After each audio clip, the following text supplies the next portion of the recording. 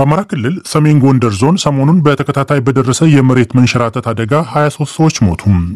በአደጋው ከሞቱት በተጨማሪ 2700 ያክል ነዋሪዎች ከቤት ንብረታቸው መፈናቀሉን የሰሜን ጎንደር ዞን የሚገኙ አራት ወረዳዎች አስታውቀዋል። በአደጋው ከቤታቸው የተፈናቀሉ አካባቢው የአካባቢው ነዋሪዎች በበኩላቸው መንግስት ድጋፍ እንዲያደርግላቸው ጠይቀዋል። ሁሌ አጋማሽ ደቡብ ኢትዮጵያ ኬንቾ ሻቻ ጎዜ አካባቢ በደረሰው የመሬት መደርመስ አደጋ 236 ሰዎች መሞታቸውን ኦቻ አስታውቋል። እዚያው ደቡብ ኢትዮጵያ ውስጥ ወላይታ ዞንና ሲዳማ ክልል በደረሰ ተመሳሳይ አደጋ ከ20 በላይ ሰዎች ሞተዋል። ደቡብ ምዕራብ ኢትዮጵያ ውስጥ የሚፈሰው የኦሞ ወንዝ ሞልቶ በሺዎች የሚቆጠሩ ሰዎች እንዲፈናቀሉ ምክንያት ሆኗል።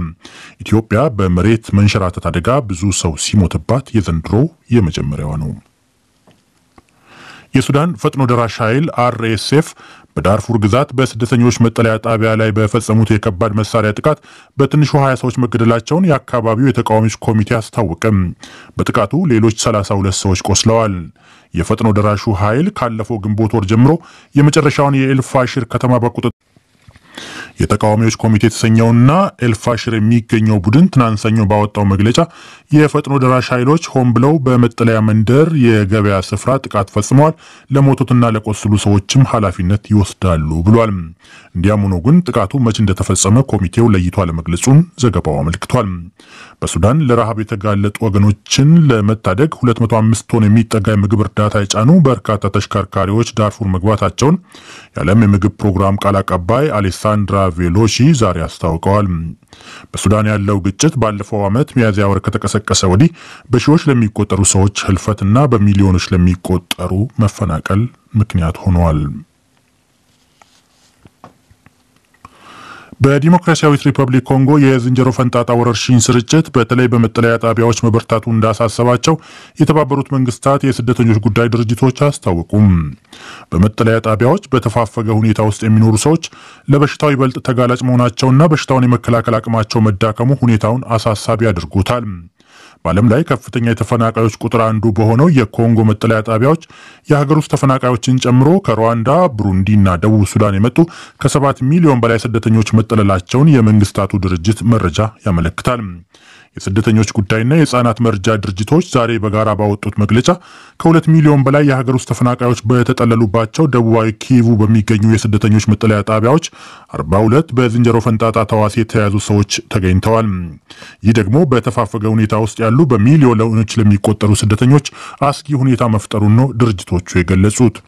ኮንጎ እስካሁን ከ180 ሺህ በላይ በተዋሲው የተያዙ ሰዎች ሲገኙባት በዚህም ካለፉት ስድስት ወራት ወዲህ ብቻ 615 ሰዎች ለህልፈት ዩጋንዳ ራሱን እስላማዊ መንግስት ወይም አይስ ብሎ ከሚጠራው ቡድን ጋር ግንኙነት ነበረው ያለችውና ግብረ አበሮቹን ከሶስት ዓመት የሽብር ጥቃት ፈጽመዋል ብላ የከሰሰቻቸውን በአስር ዓመት ጽኑ እስራት ቀጣች። ራሺድ ካቱምባ የተባለው ግለሰብ በዩጋንዳ ወታደራዊ አዛዥ የቀብር ስነስርዓት ላይ ያልተሳካ የሽብር ጥቃት ፈጽሟል ተብሎ በከነግብረ አበሮቹ በቁጥጥር ስር የዋለው በጎርጎርሳውያኑ 2021 ነበር። በዩጋንዳ ከፍተኛ ፍርድ ቤት ዓለም አቀፍ የወንጀል ተመልካች ፍርድ ቤት በካቱምባና በተባባሪዎቹ ተከሳሾች ላይ ቅጣቱን ሶስቱም ተከሳሾች ዩጋንዳውያን ሲሆኑ ከሽብር ቡድኑ ጋር ግንኙነት እንደነበራቸው የእምነት ቃል መስጠታቸውን የሀገሪቱ ጠቅላይ አቃቤ ሕግ ቃል አቀባይ ጃኩሊና ጂሙ ተናግረዋል።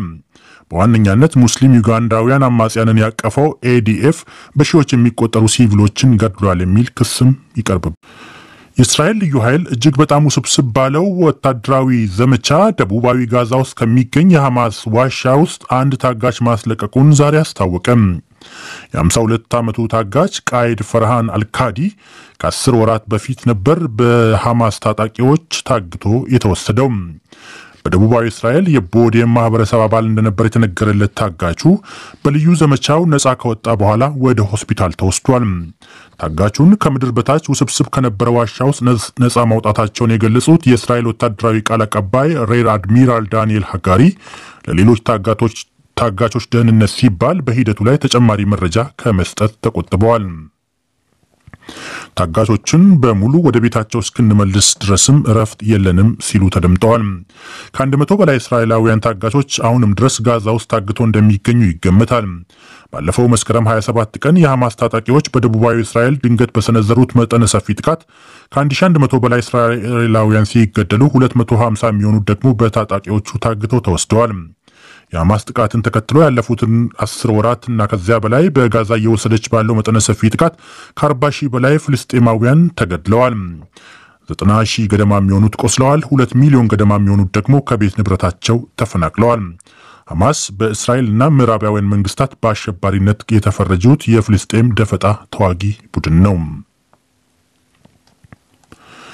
ጃፓን የቻይና አየር ኃይል አውሮፕላኖች የአየር ክልሌን ጥሰው ገብተዋል ብላ ያቀረበችውን ክስ እየተመለከተች መሆኑን ቻይና አስታወቀች።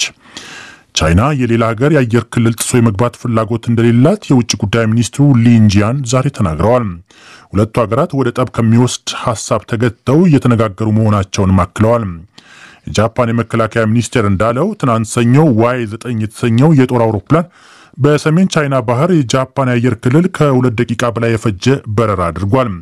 እውነቱን ተከትሎም ጃፓን በወቅቱ የጦር አውሮፕላን ማሰማራቷን የመንግስት ቃል አቀባይ ዮሺማስ ሃያሺ ተናግረዋል። ቻይና የጃፓንን ሉዓላዊነት መተላለፏና ለደህንነቷ ስጋት መደቀኗንም ጨምራ ገልጣለች።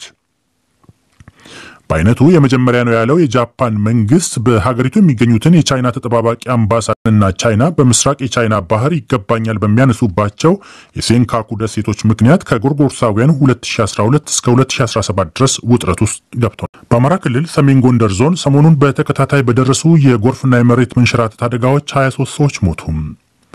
የሱዳን ፈጥኖ ደራሽ ኃይል አርኤስኤፍ በዳርፉር ግዛት በስደተኞች መጠለያ ጣቢያ ላይ በፈጸመው የከባድ መሳሪያ ጥቃት በትንሹ 20 ሰዎች ተገደሉ። በዲሞክራሲያዊት ሪፐብሊክ ኮንጎ የዝንጀሮ ፈንጣጣ ወረርሽኝ ስርጭት በተለይ በመጠለያ ጣቢያዎች መበርታቱ እንዳሳሰባቸው የተባበሩት መንግስታት የስደተኞች ጉዳይ ድርጅቶች አስታወቁ። ዩጋንዳ ራሱን የእስላማዊ መንግስት ወይም አይኤስ ብሎ ከሚጠራው ቡድን ጋር ግንኙነት ነበረው ያለችውና ከሶስት ዓመት የሽብር ጥቃት ፈጽመዋል ያለችውን ግለሰብ ከነ ግብረ አበሮቹ በአስር ዓመት ጽኑ እስራት ቀጣች። የእስራኤል ልዩ ኃይል እጅግ በጣም ውስብስብ ባለው ልዩ ወታደራዊ ዘመቻ ደቡባዊ ጋዛ ውስጥ ከሚገኝ የሐማስ ዋሻ ውስጥ አንድ ታጋች ማስለቀቁን ዛሬ አስታወቀም። ጃፓን የቻይና አየር ኃይል አውሮፕላኖች የአየር ክልሌን ጥሰው ገብተዋል ብላ ያቀረበችውን ክስ ቻይና እየመረመርኩ ነው